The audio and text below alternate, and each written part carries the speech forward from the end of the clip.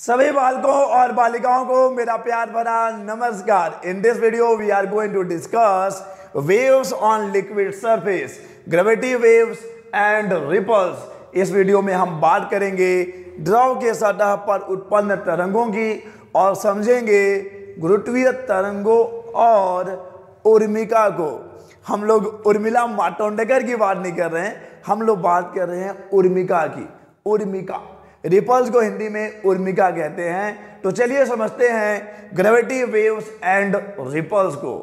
इससे पहले कि हम लोग ग्रेविटी वेव्स एंड रिपल्स को समझें, क्यों ना पहले हम किसी की यादों में खो जाएँ, किसी की ख्यालों में गुम हो जाएँ। मान लीजिए मैं या आप, या चलिए हम सब, किसी की यादों में गुम, किसी के ख्यालों में खोए हुए, किसी नदी, किसी तालाब, किसी झील के किनारे बैठे उनमें पत्थर फेंक रहे हैं। तो जब भी हम किसी तालाब, किसी नदी या किसी झील में पत्थर फेंकते हैं तो उस माध्यम में एक विक्षोभ उत्पन्न होता है, एक डिस्टर्बेंस प्रोड्यूस होता है, और वही डिस्टर्बेंस उस माध्यम में, वही विक्षोभ उस माध्यम में तरंग के रूप में संचरित होता है।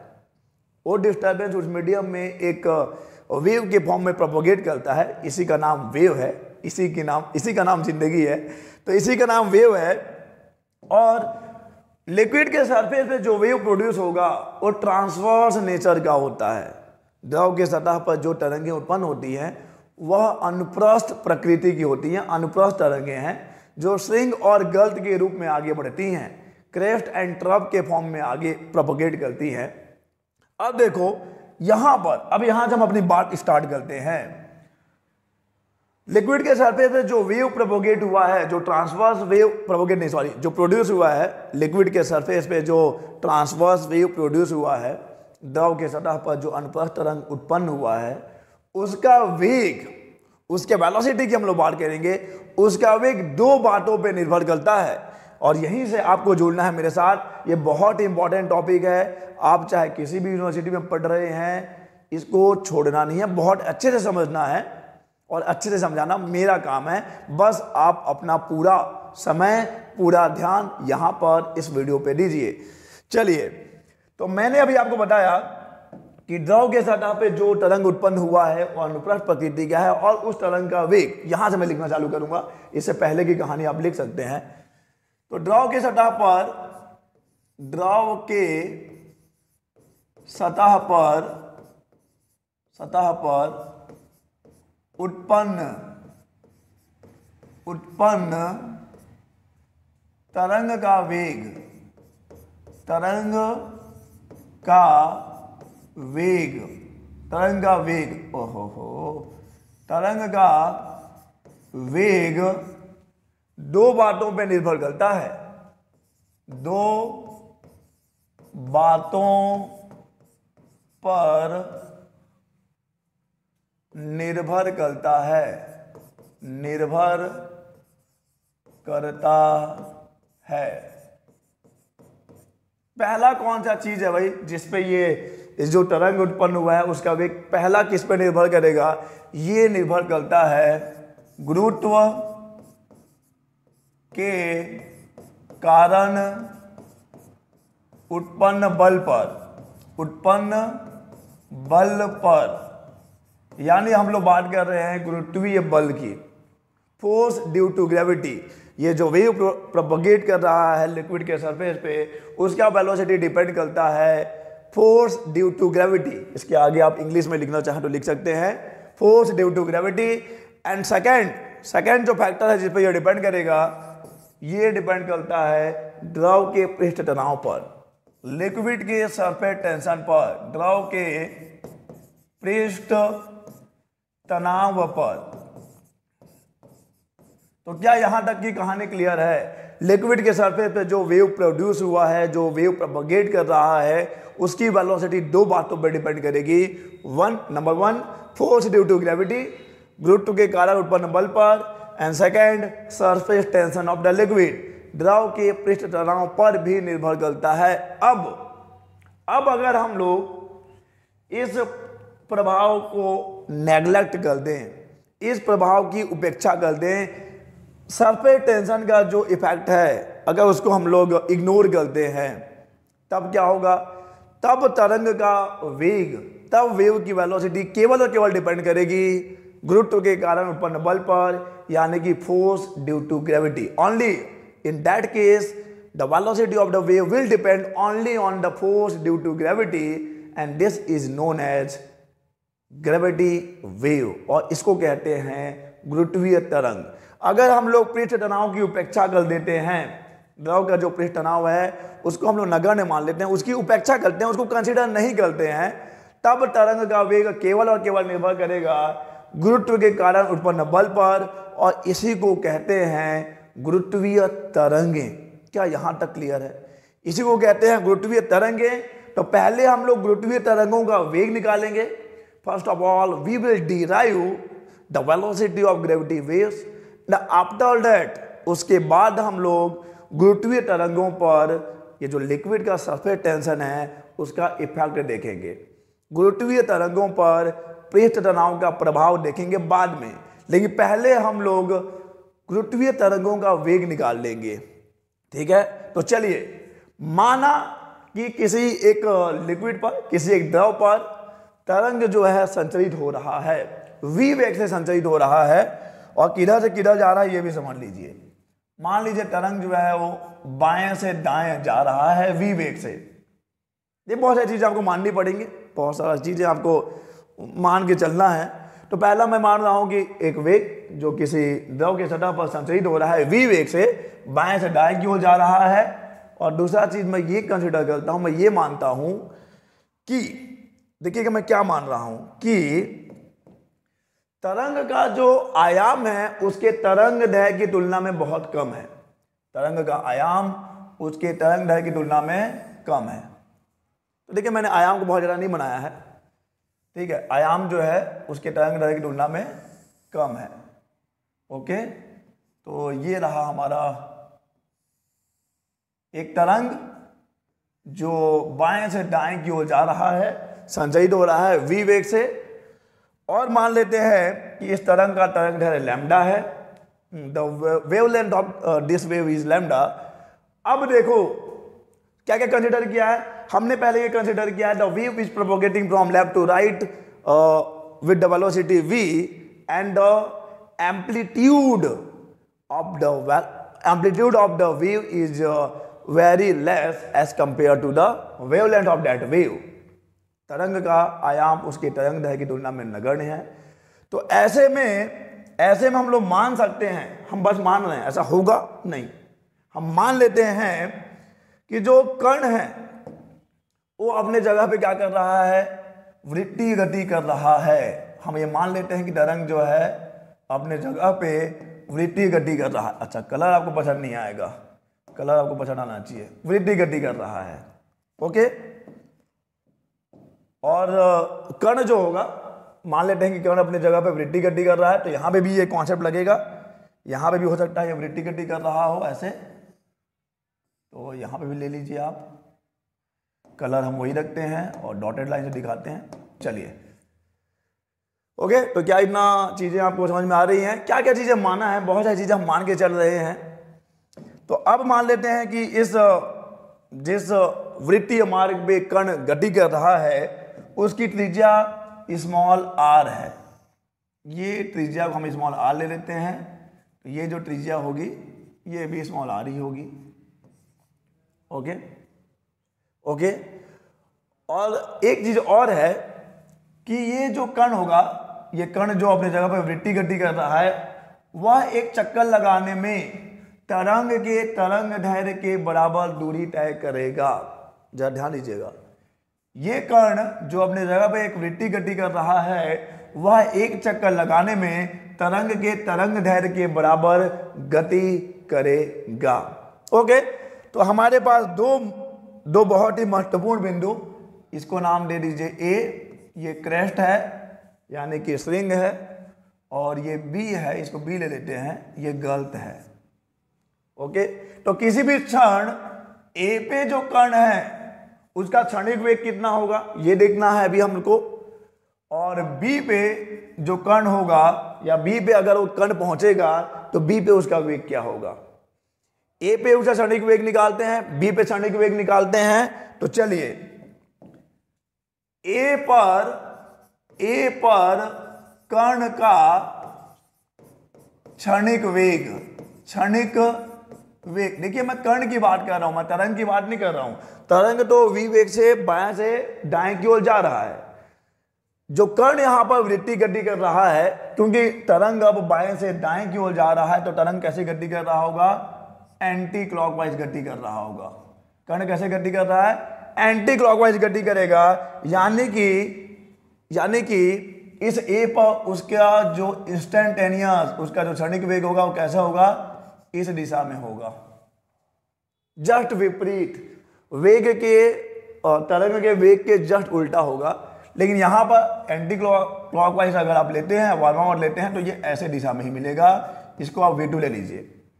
मान लीजिए, हमने माना है कि कर्ण का क्षणिक वेग ए पर वी वन है, और उसी कर्ण का बी पर क्षणिक वेग v2 है। V1 पे जो सॉरी a पे जो उसका वेग है, वो वेग के तरंग के वेग के विपरीत दिशा में है और बी पे जो वेग है उस कर्ण का तरंग के वेग की दिशा में है। तो a पर कर्ण का क्षणिक वेग कितना होगा? पहले ये हम लोग बात करते हैं। ए पर कर्ण का क्षणिक वेग हमने v1 लिया है तो v1 कितना हो जाएगा ये बता दो।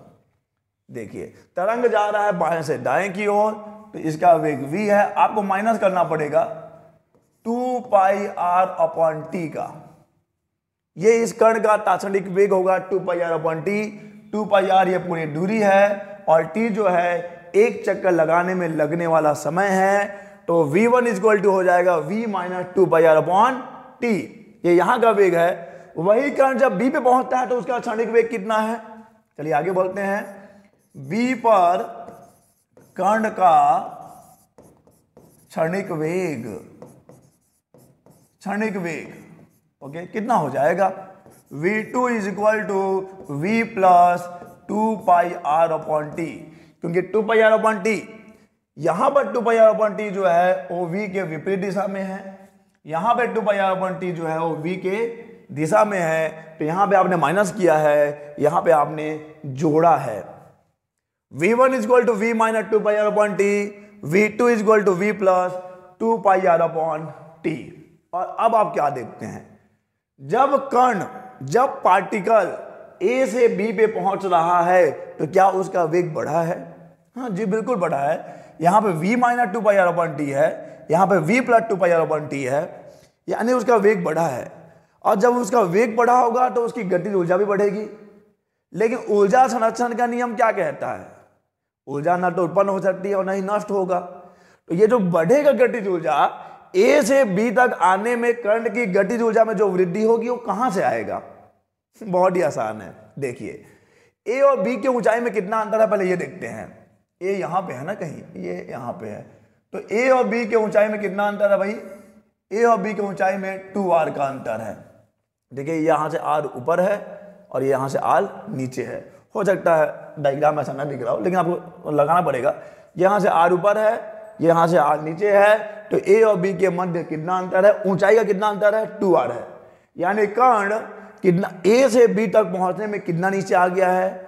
उसकी ऊंचाई में टू आर का अंतर आया है। और अब आपको मालूम है, जब कोई भी कण ऊपर जाता है तो उसकी स्थिति ऊर्जा बढ़ती है। और जब वो नीचे आता है तो उसकी स्थिति ऊर्जा घटती है। जब भी कोई पार्टिकल सरफेस से ऊपर जाएगा ऊपर जाएगा तो उसका पोटेंशियल एनर्जी इंक्रीज होता है और जब वो नीचे आता है तो उसका पोटेंशियल एनर्जी डिक्रीज होता है।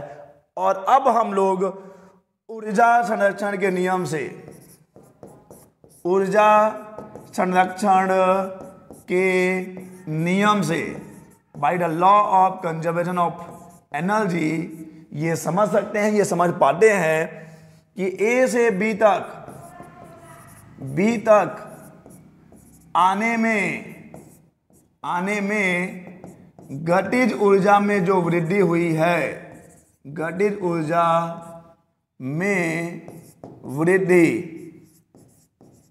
ए से बी तक आने में गतिज ऊर्जा में वृद्धि किसके बराबर होगा? ए से बी तक आने में स्थिर ऊर्जा में जो कमी आई है स्थितिज ऊर्जा में कमी के बराबर होगा। बहुत ही आसान है, कोई मुश्किल नहीं है। मैं फिर से रिपीट करूँगा। पूरी कहानी मैं फिर से रिपीट कर रहा हूँ। जिनको जर्रा जर्रा सा भी, जर्रा जर्रा जरा सा भी डाउट फिर से ध्यान दें। हमने एक वेव लिया है, जो किसी ड्रॉ के सतह पर बाएँ से दाएँ की ओर संचरित हो रहा है। उसका वेग v है। और अब हम ये मान रहे हैं कि जो तरंग है, उसका आयाम उसके तरंग ढेर की तुलना में कम है। देखो, अगर मैं तरंग ऐसे बनाता हूँ तो यहाँ पे आयाम उसके तरंग ढेर की तुलना में है। थोड़ा सा कंपेटिबल है, थोड़ा सा तुलनात्मक है। लेकिन यहाँ पे हम ये मान रहे हैं कि आयाम उसके तरंग ढेर की तुलना में बहुत कम है। और इस स्थिति में हम ये मान सकते हैं कि कण अपने स्थिति पे क्या कर रहा होगा, अपने जगह पर वृत्ति गति कर रहा होगा। ओके, चलिए तो कर्ण, मान लेते हैं कि कर्ण जो है वो आठ त्रिज्या के वृत्तीय मार्ग में गति कर रहा है, और अब किसी भी क्षण अगर कर्ण ए पे है तो भाई बी पे भी जाएगा ना। ऊपर से नीचे तो आएगा ही ना, क्योंकि वृद्धि गति कर रहा है। तो ए पे उसका वेग देख लीजिए कितना है बी पे उसका वेग देख लीजिए कितना है। यहाँ पे प्लस क्यों किया है?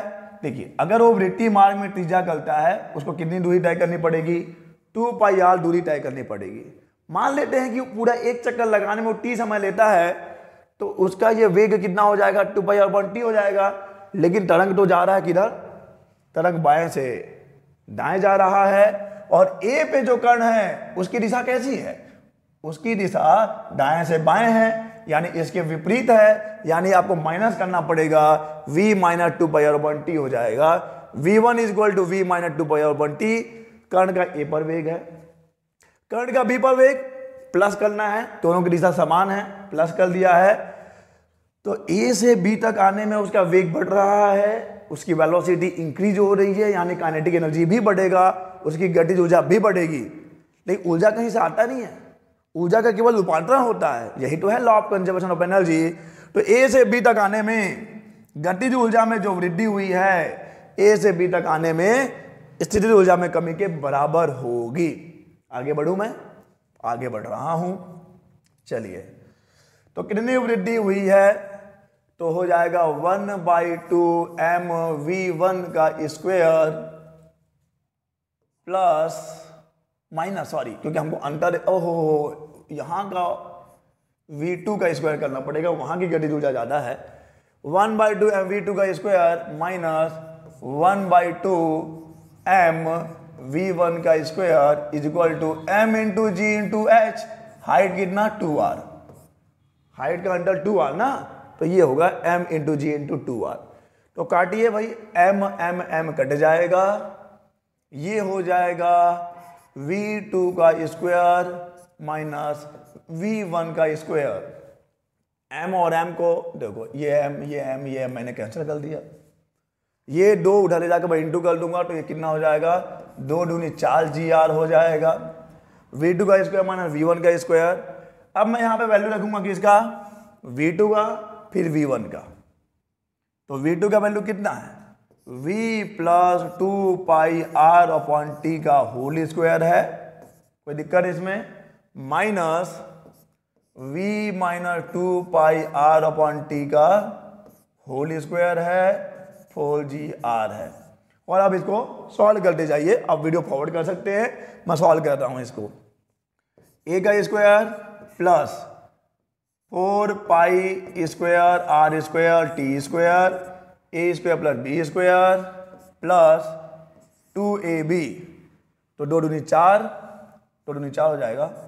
फोर पाई आर वी भी तो है डिवाइडेड बाई टी भी तो है। A square plus b square plus two a b और वही चीज़ यहाँ भी करना है। माइनस तो है बाहर है वो तो। तो ये हो जाएगा a square plus b square four pi square r square upon t square a square plus b square minus two a b होगा। माइनस देखो अभी मैं प्लस माइनस नहीं लगा रहा हूँ, लेकिन यहाँ माइनस तो देखो और लगा भी देता हूँ। माइनस का इंटू होगा ना तो जो प्लस है, वो माइनस हो जाएगा, और जो माइनस होने वाला था, वो प्लस हो जाएगा। Four pi r v upon t is equal to four g r. कोई दिक्कत तो नहीं है? A square plus b square plus two a b minus बाहर का माइनस है ये। A square okay plus b square minus था तो जो प्लस था वो माइनस हो गया, जो माइनस था वो प्लस हो गया। तो वी स्क्वायर से वी स्क्वायर अच्छा दूसरे कलर से काटेंगे, समझ में आएगा। चलो मैं ब्लू ले लेता हूँ। इससे ये खत्म, इससे ये खत्म, इससे ये खत्म, इससे ये खत्म। ये दोनों जुड़ जाएगा। और जब ये दोनों जुड़ जाएगा तो क्या हो जाएगा? चार चार, आठ हो जाएगा। तो ये हो जाएगा eight pi r v upon t is equal to four g r तो कुछ कटेगा क्या? बिल्कुल कट रहा है। जो कट रहा है, उसको काटने से मैं बिल्कुल भी पीछे नहीं हटूँगा। आर से आर कट गया। चार कम, चार दूनी आठ हो गया। अब आपको वी चाहिए तो वी मैं यही निकालता हूँ, क्योंकि जगह बहुत चाहिए होगा मुझे। So v is equal to आ गया g into t g into t अच्छा कटा है तो कैसे कटा है? चार कम चार दूनी आठ। और ये आ जाएगा g into t two pi so v मुझे मिला है g t upon two pi v is equal to g t upon two pi अब यहाँ पे टी का मान हम निकाल सकते हैं। तरंग का वेग v है। तरंग का वेग v है। और v क्या होता है? आपको पता ही है दूरी बटा समय होता है। तो v को हम लोग क्या लिख सकते हैं? या फिर v इज़ इक्वल टू हाँ सही है। V is equal to lambda upon t लिख सकते हैं ना? क्योंकि ये वही दूरी है जो एक चक्कर या फिर एक आवर्त काल में चली जाती है। This is the distance covered in time t so v is equal to lambda by t तो यहाँ से आपको क्या मिल जाएगा? T is equal to v by lambda मिल जाता है। ओके okay, और रुक जाइए थोड़ा सा जगह बना लूँ मैं अपने लिए। सबको अपना जगह खुद बनाना होता है, दोस्त। और ये उधर खिंचा दो। ठीक है? चलिए। तो जब मैं मान रखूँगा तो मुझे v इक्वल टू मिल जाएगा। G अपॉन टू बाई तो पहले से है। T का मान में v बाई कुछ तो गलत हो रहा है।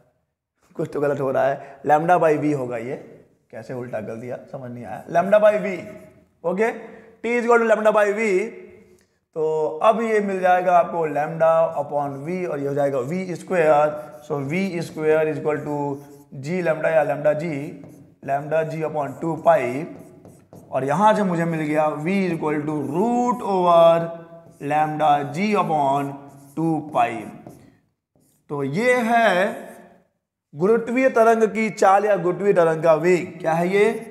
ये है गुरुत्वीय तरंग का वेग। गुरुत्वीय तरंग का वेग। कोई दिक्कत यहाँ तक होना ही नहीं चाहिए, होगा भी नहीं। गुरुत्वीय तरंग का वेग v equal to root over lambda g upon two pi repeat करिए मेरे साथ। V equal to root over lambda g upon two pi क्या हुआ?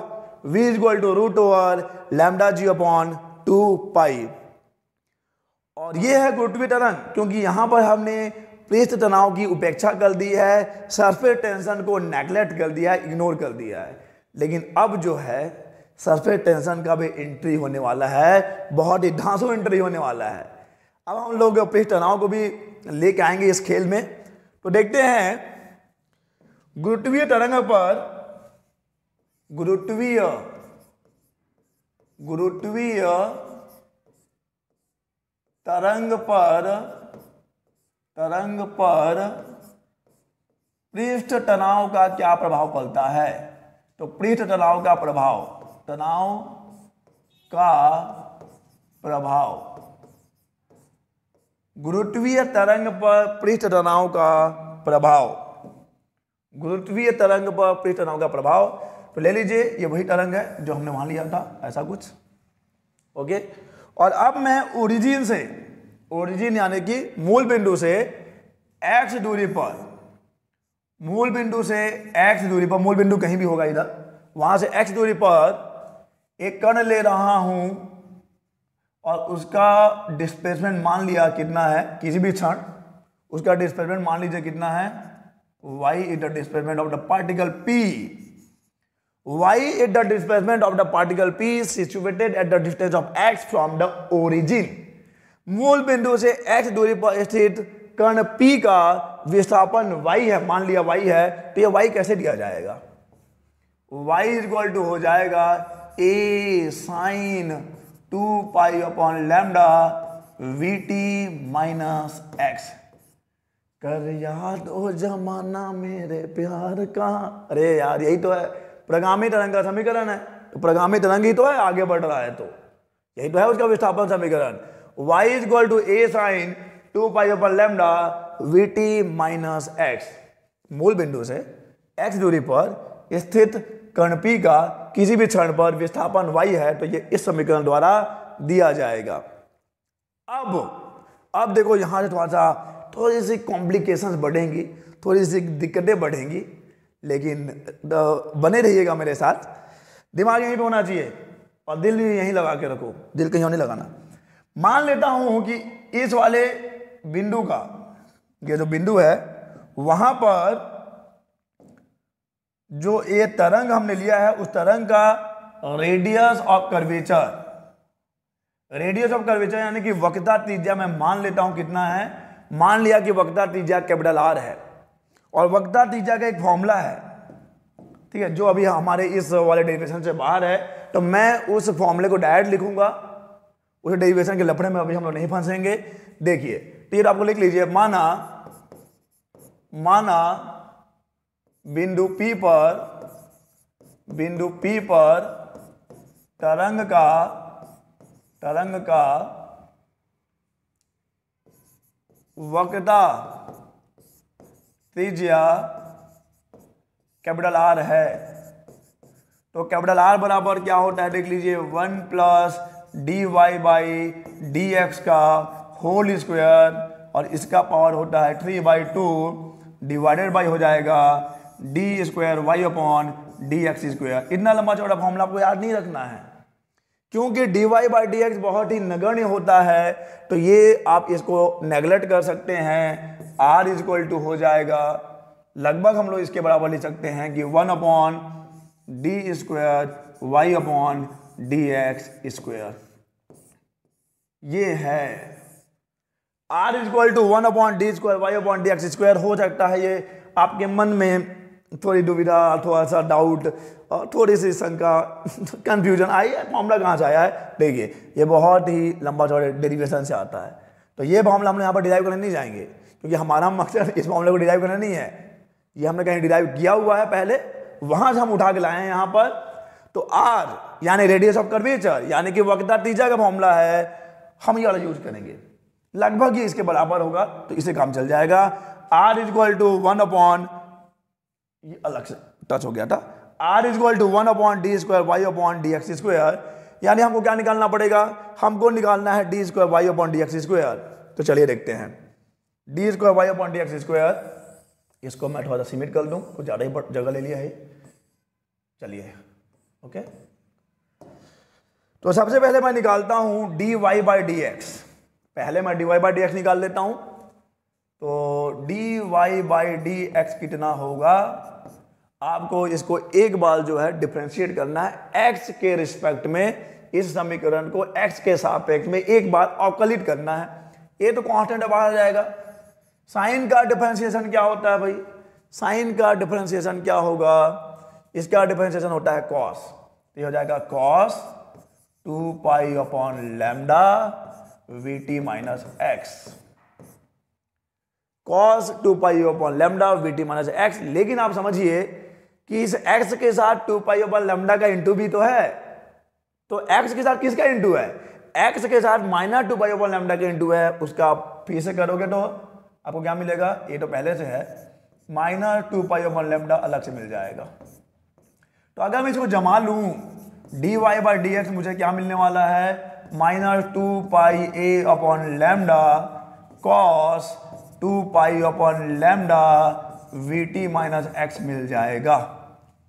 ये d y by d x है। Minus two pi a upon lambda cos two pi upon lambda v t minus x लेकिन मुझे क्या चाहिए? मुझे d square y upon d x square चाहिए। तो चलिए आगे बोलते हैं। इसको एक बार फिर से करेंगे। तो d square y d x square d square y d x square okay तो जब हम इसका फिर से अवकलन करेंगे तो कॉस का अवकलन क्या होता है? माइनस होता है।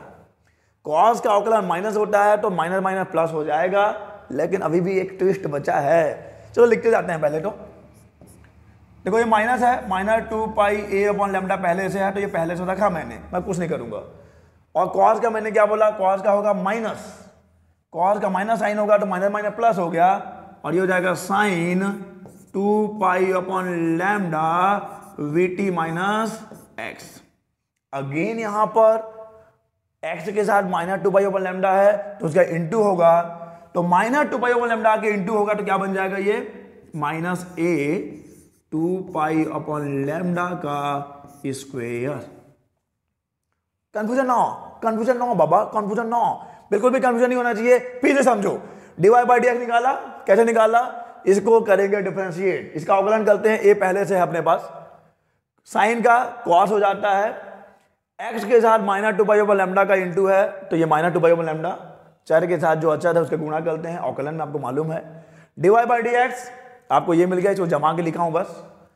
D square y by d x square इसको दोबारा से डिफ्रेंशिएट करना है। दोबारा से इसको अवकलन करना है। तो minus two pi over lambda तो अपनी जगह पे था। बिल्कुल सही है। कॉस क्या होता है? Minus sine. तो माइनस माइनस प्लस हो गया था। मामला नहीं पड़ गया था। Sine two pi over lambda, v d minus x. लेकिन एक्स के साथ again minus two pi over lambda है ना? एक्स के साथ minus two pi over lambda का फिर से इंटू है। फिर से इंटू करिए। माइनस अपने साथ लेके आएगा और टू पाई ओवर लेमडा का स्क्वायर हो जाएगा। तो d square by d x square, ये मिला आपको। तो क्या मैं यहाँ पर a sine two pi over lambda v t minus x को वाई लिख सकता हूँ, बेशक लिख सकता हूँ भाई। क्यों नहीं लिख सकता मैं? ठीक है, लिख सकते हैं तो लिखो। ठीक है, लिखिए। चलिए, मैं लिख रहा हूँ। क्या लिख रहा हूँ, देख लो। D square y d x square is equal to minus तो रहेगा भाई माइनस है तो है। तो ये हो जाएगा चार टू का स्क्वायर फोर होता है। पाई स्क्वायर लैमडा का square four pi square lambda का स्क्वायर और माइनस है ना ये? माइनस है ये। साइन अच्छा ए साइन टू पाई ओम lambda v t minus x इसके जगह पे तो वाई लिखना है। इसके जगह पे ही तो वाई लिखना है। D square y d x square is equal to minus four pi square lambda square y अब इस मान को यहाँ रख दीजिए। जब आप मान को यहाँ पे रखेंगे तो आपको क्या मिलने वाला है? तो आपको मिल जाएगा। देखो, ये one upon d y d x square है तो इसको उल्टा कर लेते हैं। तो वन बाई आर मुझे मिल जाएगा minus four pi square lambda square y. बहुत इंपॉर्टेंट एक हमें मिल गया है। ये हमारे बहुत काम का आने वाला है। One by r is equal to minus four pi square lambda square y. Once again I am repeating one by r is equal to minus four pi square lambda square y अब देखते हैं कि यार इतना जद्दोजहद किस लिए? इतना इतना तकलीफ़ क्यों उठाया है वन बाई आर निकालने के लिए? देखिए क्यों निकाला है।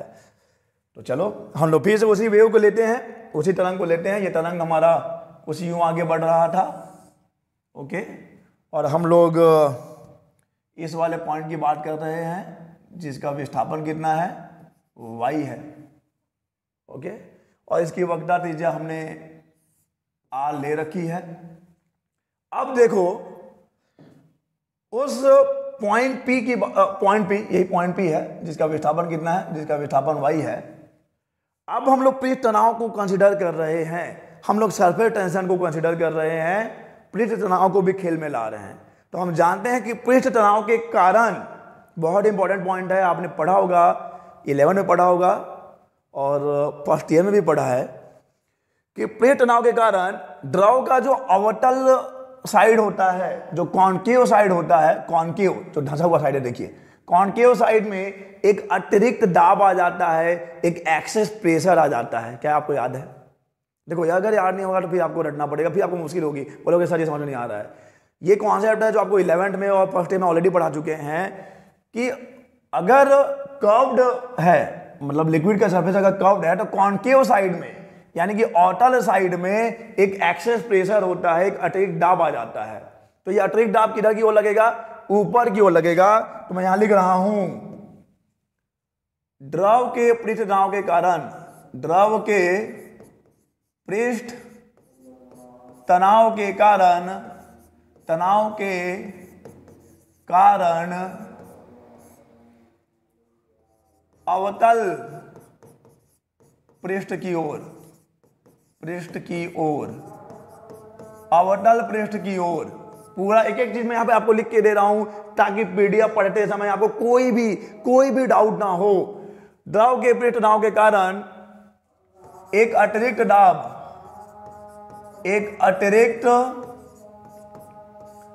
दाब दाब कितना? तो मान लीजिए कि पृष्ठ तनाव जो है कैपिटल टी है तो टी बाई आर। इसने तो आर निकाला है।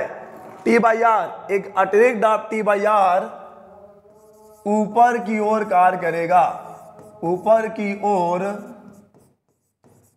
कार्य करेगा। ऊपर की ओर कार्य करेगा। पृष्ठ तनाव के कारण अच्छा ये कैपिटल टी क्या है? माना जिस लिक्विड की, जिस द्रव की हम लोग बात कर रहे हैं उसका पृष्ठ तनाव कैपिटल टी है। तो जो कॉन्केव साइड है, जो अवतल साइड है, उधर एक अतिरिक्त दाब होगा। ये अतिरिक्त दाब टी बाई आर के द्वारा दिया जाएगा और इसकी दिशा ऊपर की ओर होगी। लेकिन ये तो हो गया कि भैया वहाँ पे एक अतिरिक्त दाब है टी बाई आर जो ऊपर की ओर लग रहा है। लेकिन यहाँ पे जो फ्लूइड कॉलम है, जो द्रव स्तंभ है, द्रव स्तंभ का दाब किधर लगता है? द्रव स्तंभ का दाब नीचे की ओर लगेगा। द्रव स्तंभ का दाब कितना? फॉर्मूला पढ़ा होगा rho into g into h तो यहाँ पे क्या लेंगे? Rho into g into y क्योंकि यहाँ पे ऊंचाई वाई है। यहाँ पे गहराई लो, ऊंचाई लो वाई है यहाँ पर। द्रव स्तंभ का दाब रो जी वाई नीचे की ओर लगेगा। नीचे की ओर, नीचे की ओर। नीचे की ओर लगेगा। तो बिंदु P पर दो दाब है। एक है टी बाई आर ऊपर की ओर और एक है वाई जी रो या रो जी वाई नीचे की ओर। तब बिंदु P पर, अब देखिए, बिंदु P पर, बिंदु P पर, बिंदु P पर प्रभावी दाब। Effective pressure at point p effective pressure at point p कितना होगा भाई? Rho g y minus t by r ये दाब नीचे की ओर है, ये दाब ऊपर की ओर है rho g y minus t by r this is the effective pressure at point p बिंदु बी पर इतना प्रभावी दाब है rho g y minus t by r मान रखने का समय आ गया। वैल्यू पुट करने का टाइम आ गया। मान रखने का समय आ गया, यानी वैल्यू पुट करने का समय आ चुका है। वैल्यू पुट करिए।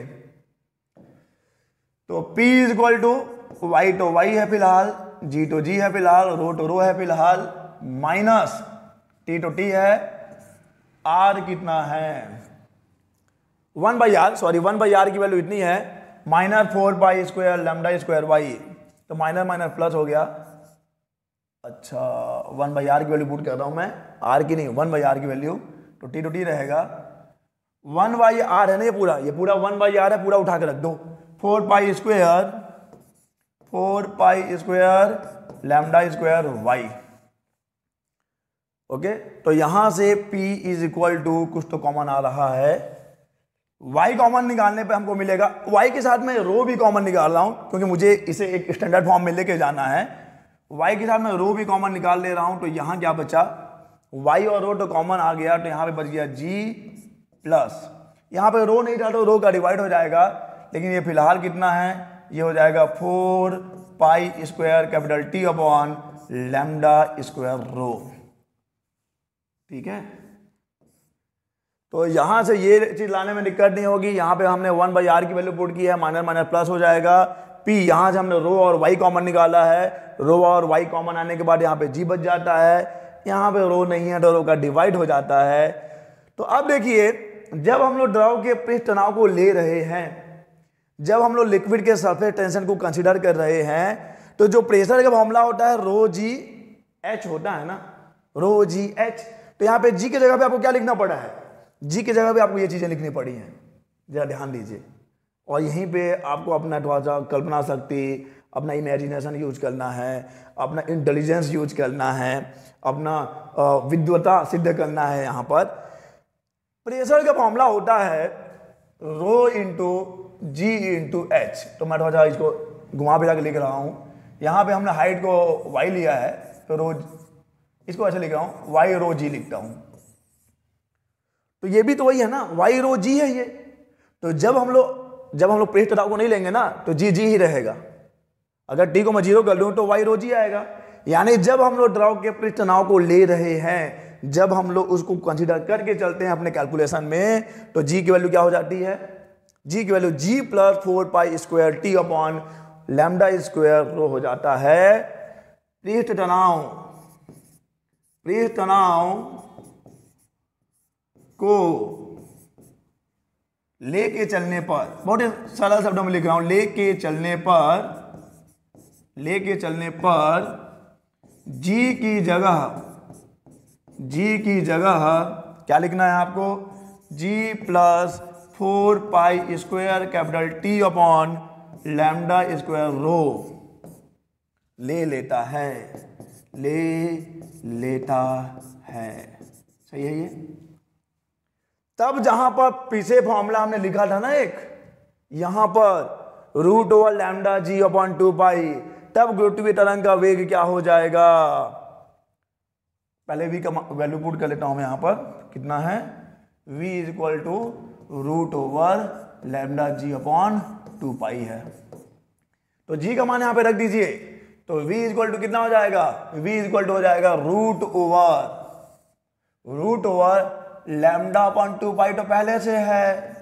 जी का मान काफ़ी लंबा चौड़ा है। G plus four pi square t. G plus four pi square t upon lambda square rho. तो जब हम लोग पृष्ठ तनाव को लेके चलेंगे तो गुटवी तरंग का वेग इतना हो जाएगा। यहाँ पे पृष्ठ तनाव को भी हमने अपने कैलकुलेशन में ऐड किया है। उसको नगर ने, उसको नेगलेक्ट नहीं किया, उसकी उपेक्षा नहीं की है। तो v equal to root one lambda upon two pi g plus four pi square t upon lambda square rho तब v कैसा लिखा जाएगा? पूरा सॉल्व करते जाइए आप। इंटू करिए। ये हो जाएगा lambda g upon two pi plus lambda g upon two pi, यहाँ पे इंटू करेंगे तो लैमडा और लैमडा कट जाएगा, एक लैमडा बच जाएगा, दो से, दो कट जाएगा, पाई से पाई कट जाएगा, यानी two pi t upon lambda rho बचेगा। Lambda g upon two pi plus two pi t upon lambda rho. ये है गुरुत्वीय तरंग का वेग, जब हम लोग पृष्ठ तनाव को भी लेके चलते हैं। तो प्रभाव आप यहाँ से देख पाएँगे कि तनाव का क्या प्रभाव पड़ रहा है? अब यहाँ पर मान लेते हैं, ठीक है कि लैमडा ज़ीरो है। जब लैमडा ज़ीरो होगा तो ज़ीरो रखिए, पूरा ज़ीरो हो गया। ये one by one by zero infinity हो जाएगा। यानी कि लैमडा ज़ीरो के लिए वी क्या मिलेगा? वी अनंत मिलेगा। कोई दिक्कत तो नहीं है। सॉल्व करने में परेशानी तो नहीं होती है। आप सभी यहाँ पे मैथ्स वाले हो, क्योंकि मैथ्स वाले ही फिजिक्स पढ़ रहे हैं फ़िलहाल तो। V is equal to root over lambda g upon two pi plus two pi t upon lambda rho अगर लैमडा ज़ीरो ज़ीरो है, अगर लैमडा ज़ीरो होता है तो वी अनंत है। देख लो ना भाई लैमडा ज़ीरो रखता हूँ, ये पूरा ज़ीरो हो जाएगा। वन बाई ज़ीरो यानी इन्फिनिटी मिलेगा रूट ओवर इन्फिनिटी भी इन्फिनिटी ही मिलेगा, अनंत ही मिलेगा। यानी लैमडा ज़ीरो है तो भी अनंत है। अगर मैं लैमडा को अनंत ले लेता हूँ, अगर लैमडा अनंत है तो क्या है? अनंत तो ये अनंत हो गया। वन बाई अनंत, ज़ीरो होगा चलो, ये तो ज़ीरो हो गया, लेकिन ये तो अनंत हो गया ना। यहाँ पे मैं इन्फिनिटी रखूँगा तो इन्फिनिटी में आप किसी का भी इंटू करो। इन्फिनिटी ही मिलेगा। वन बाई इन्फिनिटी ज़ीरो होगा। चलो, ये टर्म ज़ीरो हो गया, लेकिन ये तो इन्फिनिटी है। यानी इस कंडीशन में भी वी अनंत ही मिलेगा। यानी लैमडा ज़ीरो है तो भी अनंत है। लैमडा अनंत है तो भी अनंत है। तो क्या है ये? यानी लैमडा का एक ऐसा मान, ज़ीरो और अनंत के बीच में ज़ीरो और अनंत के बीच में ज़ीरो और लैमडा के, lambda is equal to zero, and and lambda equal to infinity के बीच में बीच में लैमडा का एक मान होना चाहिए। लैमडा का एक कोई ऐसा मान होना चाहिए, कोई ऐसा मान होना चाहिए होना चाहिए जिसके लिए जिसके लिए v क्या होगा? न्यूनतम होगा। न्यूनतम होगा। तो अब हम निकल पड़े हैं लैम्डा की एक ऐसे मान की तलाश में। लैम्डा के एक ऐसे वैल्यू की सर्च में लैम्डा के एक, एक ऐसे वैल्यू की खोज में जिसके लिए v मिनिमम होगा v न्यूनतम होगा। इससे पहले कि आगे बढ़े थोड़ा एक शायरी सुनिए कि हम फिर से निकलेंगे तलाश है ज़िंदगी। हम फिर से निकलेंगे तलाश ए ज़िंदगी। दुआ कीजिएगा इस बार कोई बेवफा ना मिले। हम फिर से निकलेंगे तलाश है ज़िंदगी। दुआ कीजिएगा इस बार कोई बेवफा ना मिले। लेकिन हमको लैम्डा का एक ऐसा मान चाहिए। हमको लैम्डा का एक ऐसा मान चाहिए ही चाहिए, जिसके लिए वी क्या हो? न्यूनतम हो। ठीक है। चलो कंडीशन लगाते हैं। वी न्यूनतम होगा। वी न्यूनतम होगा यदि ये न्यूनतम होगा। अगर वी को न्यूनतम होना है बट देखो बच्चा, यहाँ से आपको दिमाग लगाना पड़ेगा। पूरा माइंड यूज़ करेंगे आपका। यूज़ करके फेंकेंगे नहीं। ये मोहब्बत नहीं है जो यूज़ करके फेंक देंगे। स्नेह है, श्रद्धा है, प्रेम है, प्रेम भी मोहब्बत ही होता है। लेकिन चलो, आपको समझाएँगे अच्छे से। तो यहाँ पर अगर वी को न्यूनतम होना है वी को मिनिमम है तो इसको मिनिमम होना पड़ेगा। ठीक है तो इसको मैं लिख नहीं रहा हूँ, ये लिख ही देता हूँ। वी के न्यूनतम होने के लिए वी के न्यूनतम न्यूनतम होने के लिए, होने के लिए, किसको न्यूनतम होना पड़ेगा बच्चा? बालक हो या बालिका, lambda g upon two pi plus two pi t upon lambda rho को न्यूनतम होना पड़ेगा। न्यूनतम होना पड़ेगा। ठीक है अच्छा है, बहुत अच्छा है। तो अगर व्यू को न्यूनतम होना तो इसको मिनिमम होना पड़ेगा। अब इसको न्यूनतम करने के लिए हम थोड़ा सा गणित लगाएँगे, थोड़ा मैथमेटिक लगाएँगे। इसको मैं किसी और पदों में चेंज कर रहा हूँ। देखो कैसे चेंज कर रहा हूँ। इसको मैं चेंज करने वाला हूँ root over lambda g upon two pi minus root over two pi t upon lambda rho इसको लिखा है होल स्क्वायर तो ए स्क्वायर करोगे तो यही मिलेगा प्लस बी स्क्वायर करोगे तो यही मिलेगा। लेकिन यहाँ पे माइनस क्या मिलेगा? Minus two root over lambda g upon two pi, ऐसा भी तो मिलेगा। तो हम क्या करेंगे? जो माइनस में मिलने वाला है, उसको यहाँ पे प्लस कर देंगे। दिमाग। ठीक है? प्ले विथ चैंपियंस बोलते हैं इसको। तो ये हो जाएगा root over lambda g upon two pi, root over two pi t upon lambda rho. यानी कि देखो, ये यही लिखा हुआ है, ये अलग से कोई चीज़ नहीं है। हमने इसको ऐसे व्यक्त किया है, हमने इसको ऐसे एक्सप्रेस किया है बस। अगर आप इसको सॉल्व करोगे तो आपको यही मिलने वाला है। तो अगर मैं इसको न्यूनतम करना चाहता हूँ मतलब इसको न्यूनतम करना चाहता हूँ, इसको मिनिमम करना चाहता हूँ, ध्यान दीजिए। ठीक है? अगर मैं बोला हूँ, भैया, ये मिनिमम होना चाहिए तो ये मिनिमम होना चाहिए तो अब ये मिनिमम होना चाहिए, क्योंकि दोनों तो एक ही चीज़ है। तो ये मिनिमम होने में दिक्कत ये है कि देखो, लैमडा से लैमडा कट जाएगा, pi two pi two pi cut जाएगा। तो यहाँ पर समझ लो कि ये चीज़ तो कांस्टेंट है, जरा सॉल्व कर लीजिए आप। ये चीज़ तो कांस्टेंट है। देखो कैसे कांस्टेंट है। यहाँ पे मैं सॉल्व करके बता रहा हूँ। Two root over lambda g upon two pi two pi t upon lambda rho two pi से टू पाई कट गया। लैमडा से लैमडा कट गया तो क्या बच गया? Two root over g t upon rho बच गया, जो कि कांस्टेंट है। Two root over g t upon rho ये तो कांस्टेंट है।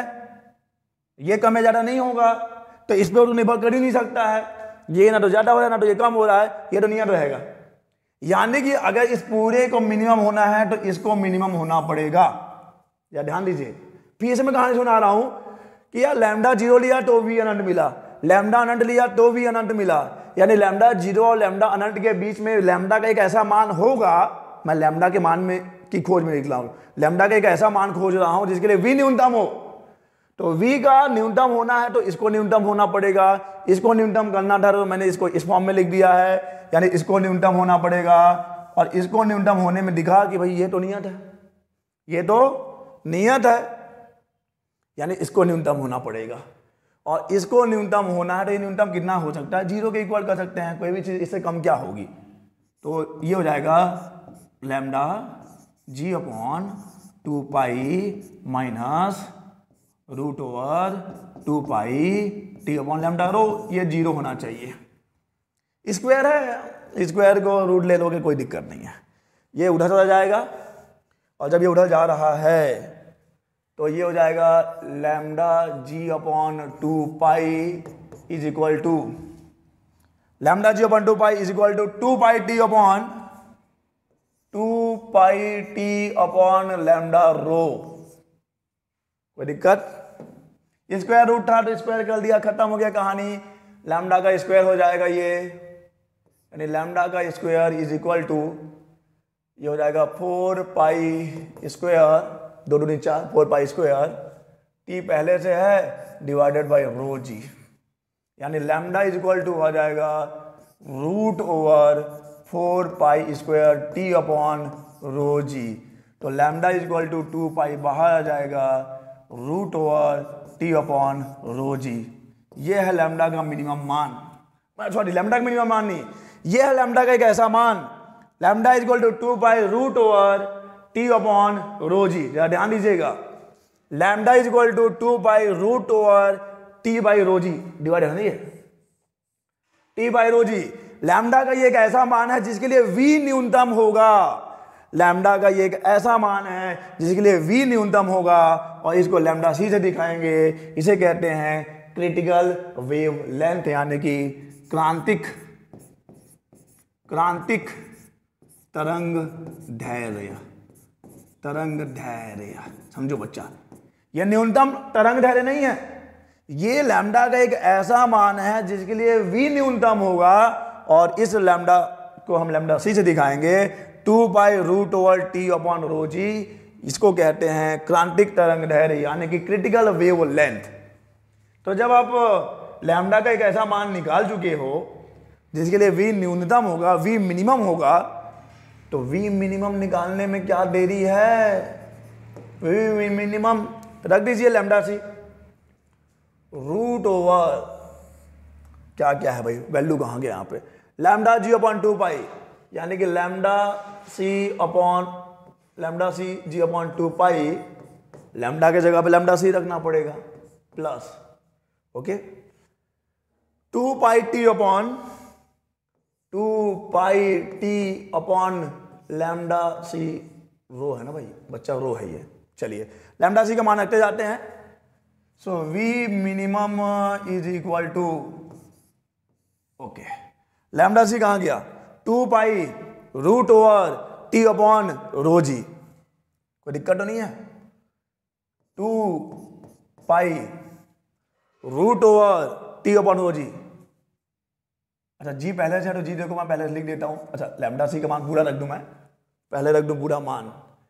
जी अपॉन टू पाई को मैं इधर रख देता हूँ। जी अपॉन टू पाई और ये हो जाएगा root over into two pi root over t upon rho g plus ठीक है? ये अभी पहले वाले टर्म के लिए था। सेकंड वाले के लिए क्या करना पड़ेगा? इसको उल्टा करना पड़ेगा पहली बात तो ये, यानी कि टू पाई टी अपन रो तो हमारे साथ है। Lambda c, one by lambda c, यानी इसको उल्टा करिए तो ये हो जाएगा वन अपॉन टू पाई, इसको उल्टा किया, यानी कि आपको मिलेगा रूट ओवर, आपको मिल जाएगा root over rho g upon t मिल जाएगा। कोई दिक्कत? कोई मुश्किल? कोई परेशानी? नहीं है? तो चलिए आगे बढ़ते हैं। वी मिनिमम देखते हैं, आ कितना रहा है? ये टू पाई से टू पाई खल्लास फिनिश हो जाएगा, ठीक है? जी है और ये रूट ओवर तो अभी रखता हूँ मैं। अभी उसको ऐसे ही रख रहा हूँ। जी को जी रख दिया, ये रूट ओवर तो देखो रूट जो है रूट के अंदर रूट थोड़ा सा अजीब ही लग रहा है। इसको लिख देते हैं टी अपॉन रो जी का पावर कितना? वन बाई टू लिख देते हैं।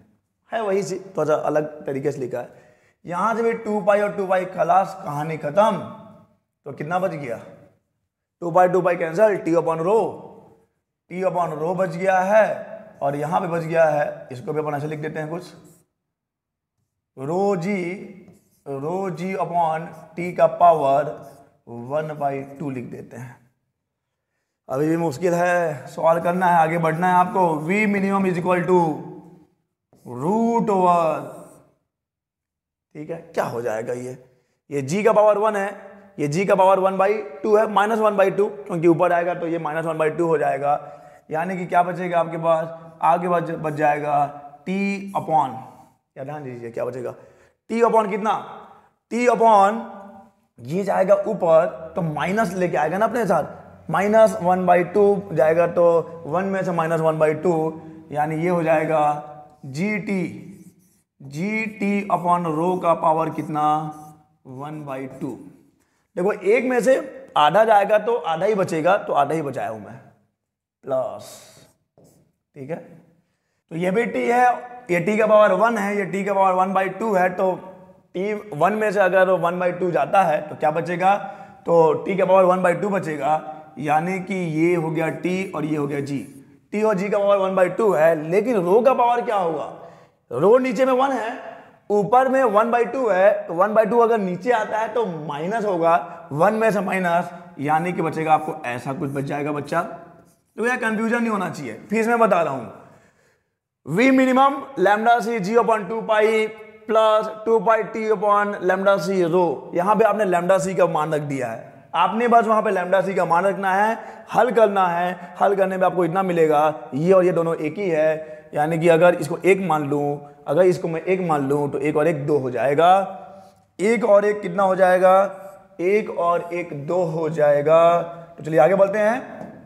तो v minimum is equal to एक एक दो, यानी root over root over two g T upon rho का पावर वन बाई टू है। वन बाई टू है। अच्छा वन बाई टू ऐसे नहीं लिखा है क्या? तो वन बाई टू को, अच्छे, लिख दिया मैं। वन बाई टू है। तो v minimum is equal to root two लिख सकते हैं इसको?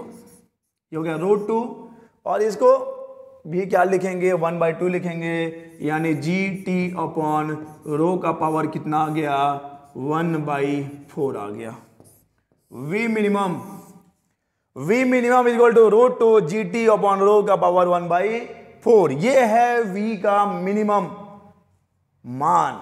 This is the minimum velocity v minimum is equal to root two g T upon rho one by four यहाँ तक कोई दिक्कत तो नहीं है। और अब चलिए, अब हम आते हैं ग्रेविटी वेव और रिपल्स के ऊपर। ये हमने यहाँ तक v मिनिमम निकाल रखा है। अब हम कंडीशन लगाएँगे। हमने यहाँ पर द्रव के पृष्ठ पर उत्पन्न तरंग का वेग निकाल रखा है। यहाँ पे जी को भी कंसिडर किया है टी को भी कंसिडर किया है। तो v इक्वल टू कितना मिला हमको? V इज़ इक्वल टू मिला है root over lambda g upon two pi plus two pi capital T upon rho lambda या लैमडा रो ठीक है? लैमडा रो यही है ना? चेक कर लेते हैं, एक बार क्रॉस चेक कर लेते हैं। V equal to root over lambda g upon two pi plus two pi T upon lambda rho v is equal to root over lambda g upon two pi plus two pi T upon lambda rho और अब वक्त आ गया है विशेष परिस्थितियों पर बात करने का। अब हम लोग बात करेंगे स्पेशल केसेस की, विशेष स्थितियों की बात करेंगे। तो केस नंबर वन देखते हैं।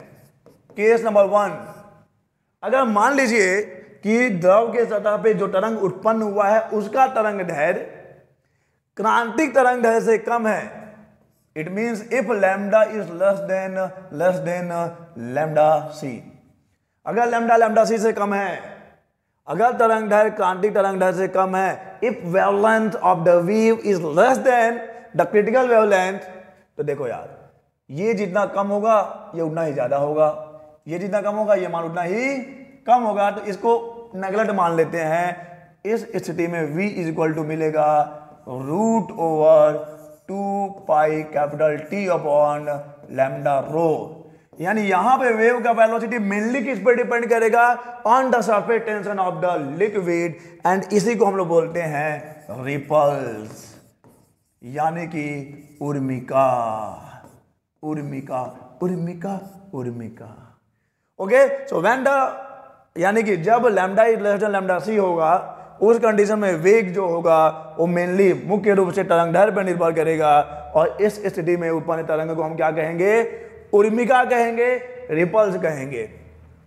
अब आते हैं हम केस नंबर टू पे। अगर मान लीजिए lambda is greater than lambda c है if lambda is greater than lambda c, lambda is greater than lambda c है तो ये जितना ज़्यादा है ना, इसका मान उतना ही ज़्यादा होगा। ये जितना लैम्डा जितना ज़्यादा होगा, इसका मान उतना ही कम होगा। तो मान लो इतना ज़्यादा है कि ये ही नगण्य हो गया है। इस स्थिति में v इज़ इक्वल टू हो जाएगा root over lambda g upon two pi v is equal to root over lambda g upon two pi यानी यहाँ पर तरंग का वेग ग्रेविटी g पर निर्भर करेगा, और इसे तो हम ग्रेविटी वेव्स कहते हैं। ग्रेविटी वेव्स यानी कि गुरुत्वीय तरंग कहते हैं। गुरुत्वीय तरंग कहते हैं बच्चा। बालक हो या बालिका, है तो बच्चा। तो देखिए भाई कंडीशन बहुत साफ़ है। अगर तरंग ढर क्रांति तरंग ढर से कम है तो उसे उर्मिका कहेंगे। अगर तरंग ढर क्रांति तरंग ढर से ज़्यादा है तो इसे गुरुत्वीय तरंग कहेंगे। ओके? और यहाँ पे हमने v का मिनिमम मान भी निकाल रखा है। अगर वेग इससे कम होता है, वेग का मान इससे कम होता है तो तरंग जो है, उस द्रव के सतह पर संचरित ही नहीं हो पाएगा प्रोपगेट ही नहीं कर पाएगा। और यहाँ पे जो हमने लैमडा एक निकाला है, कहाँ गया कहाँ गया कहाँ गया कहाँ गया? ये लैमडा जो निकाला है, इसे क्रांतिक तरंग ढर कहते हैं। इस तरंग ढहर के लिए वेग न्यूनतम होगा। ओके? तो इस वीडियो में हमने डिस्कस किया है ग्रेविटी वेव्स एंड रिपल्स को। तो चलिए इस वीडियो में बस इतना ही। हम लोग मिलेंगे अपने अगले वीडियोस में किसी नए टॉपिक के साथ। तब तक के लिए अलविदा।